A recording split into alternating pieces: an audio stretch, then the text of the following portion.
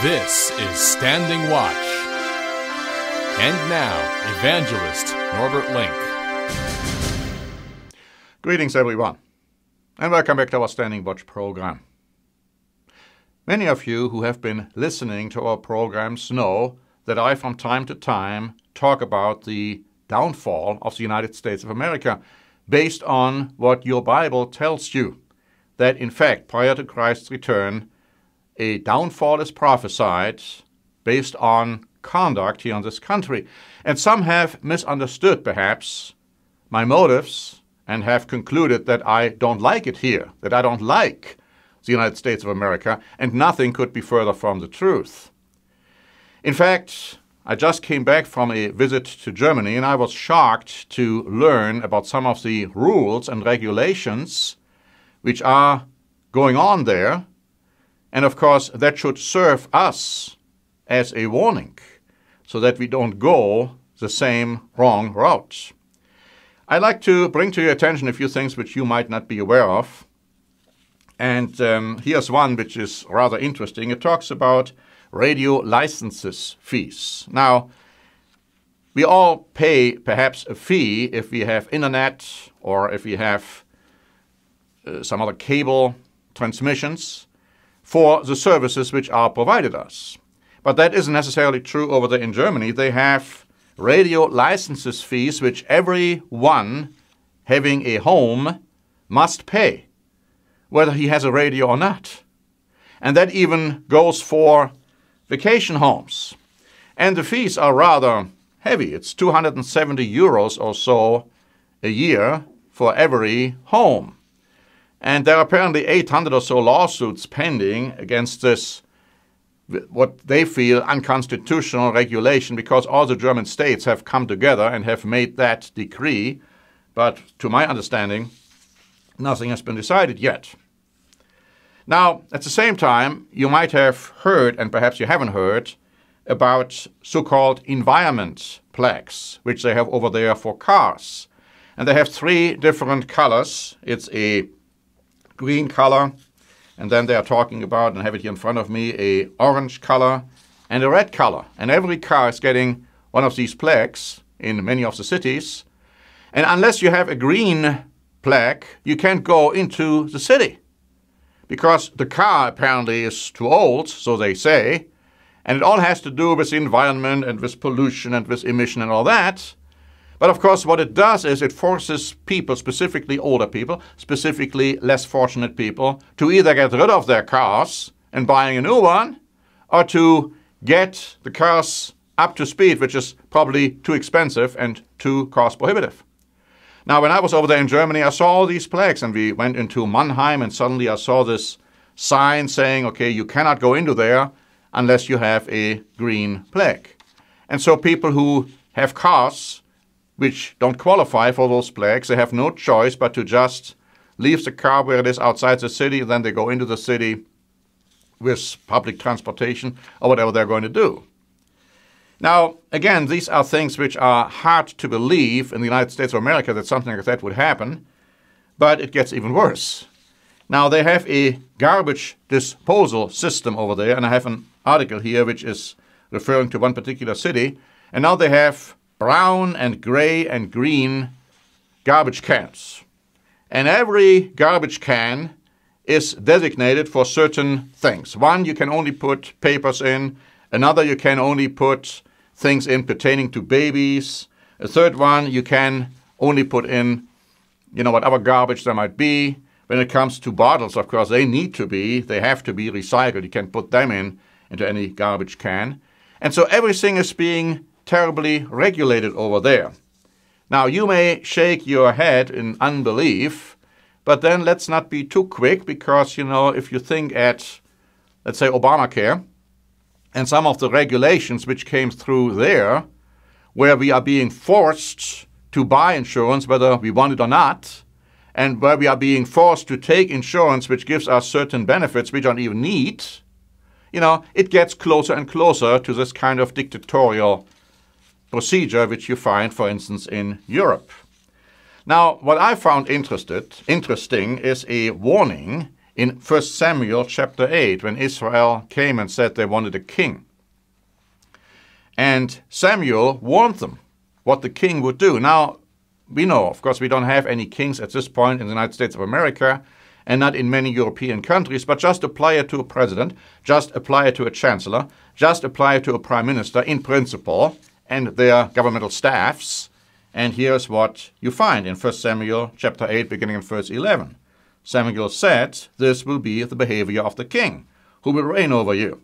He will take your sons and appoint them for his own chariots and to be his horsemen, and some will run before his chariots, and he will appoint captains over his thousands and captains over his fifties, and will set some to plough his ground and to reap his harvest, and some to make his weapons of war and equipment for his chariots. So many today are going to war for the country, or they are working for the country in one way or another, have to pay taxes, of course, because it goes on to say, He will take your daughters to be perfumers, cooks, and bakers, and he will take the best of your fields your vineyards and your olive groves and gives them to his servants, and he will take a tenth of your grain and your vintage and give it to his officers and servants, and he will make your male servants, your female servants, your finest young men, and your donkeys, and put them to work, and he will take a tenth of your sheep, and you will be his servants. Now, in many cases, in principle, that is exactly what we are having already. And so we got to be very astute that looking at things which are happening, let's say, in Germany or in Europe, that we don't in this country see the same tendencies developing, and not even speaking about dictatorial countries like Russia or China. You see, when you're thinking about Europe and you hear about the European unification, you might have the misimpression that it's something like what we have here in the United States where let's say I can go from one state to another state and I can buy all kinds of things in one state and bring them over to another state and I don't have to pay customs for it. It's totally leg- legit to do that. And I was under the misimpression, to be honest, that in fact that was the same insofar as at least the European member states are concerned. And I was quite surprised to find out that isn't the case at all. In fact, if you go, let's say, to Luxembourg, and you buy certain things and then you want to bring it over to Germany, you're only allowed to do that up to a certain amount. And otherwise, you have to pay a fine, or worse yet, they just confiscate everything from you and you still got to pay a fine. Now, that applies to certain articles. One is, of course, cigarettes and tobaccos. Now, of course, just to say that, that you shouldn't buy anyhow, because you shouldn't smoke. Smoking is very bad, not just for you, but also for others and you hear about secondhand smoke, and now you even hear about third-hand smoke. Now, if you are a Christian, if you want to love your neighbor as yourself, you're not going to smoke for his benefit as well as for yours.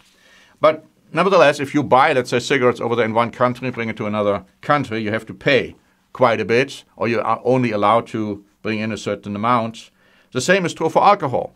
Whatever alcohol you bring in, whether it's beer or wine or other strong drinks, you can only bring in a certain amount, otherwise, you have to pay custom. And of course, you have to declare it. Coffee is another one. I have a list here what you can bring in, and you cannot bring in more than a certain amount. Gasoline. I mean, if you go to another state, or another country, I should say, and you want to bring in gasoline, you can't do that. You can only fill your car, and you can have a little bit extra, but that is it. And if you have more than what is allowed, then you are in big trouble. And so, again, these are kind of regulations which make you wonder about how unified Europe will ever be. And it brings to mind a prophecy in the book of Daniel. You know, in Daniel chapter 2, Nebuchadnezzar had a dream and he saw this famous statue, and I just want to read it to you, beginning in verse 31. Because here Daniel is explaining to Nebuchadnezzar, first of all, what he dreamt, and then he explains the interpretation. You, O king, were watching, and behold, a great image. This great image, whose splendor was excellent, stood before you, and its form was awesome. And this image's head was of fine gold, its chest and arms of silver, its belly and thighs of bronze, its legs of iron, its feet partly of iron and partly of clay.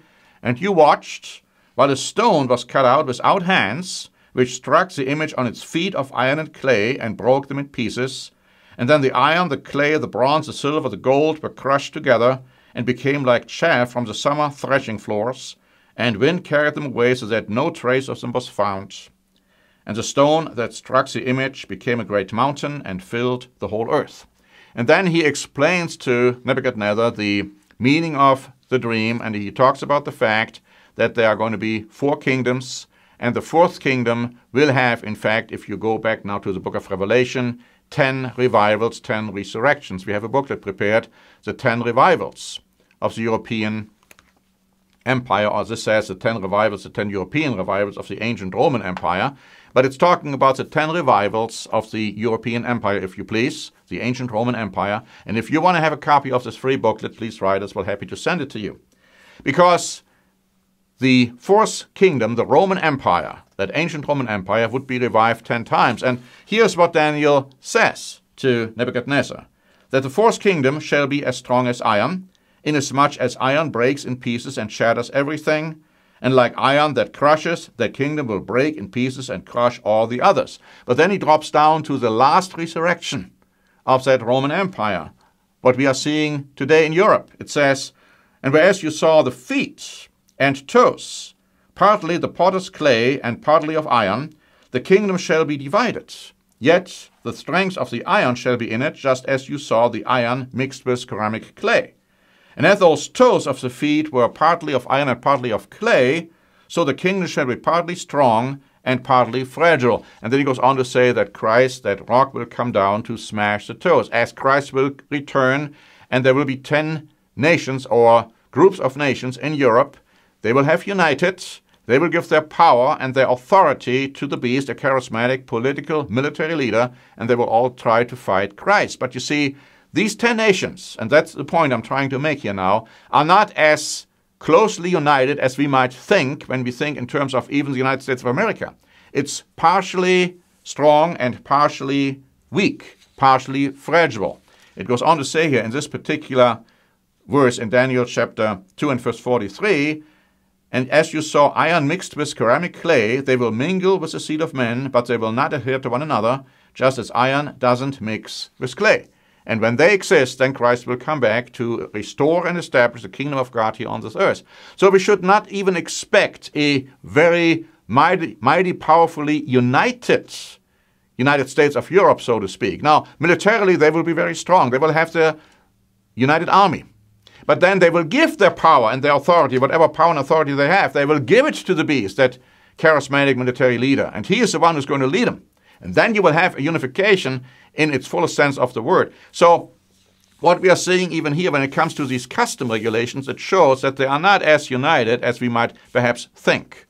And so we should watch the news very carefully, and we should also be very thankful that we are living in the United States of America where we still have freedom. But we should be careful and we should be watchful because we are seeing more and more how our individual freedoms are being taken away from us as well in this country. And let us see that very clearly and let us also understand that God is not amused and He is not happy about this. So thank you very much for listening. This is Norbert Link for the Standing Watch program.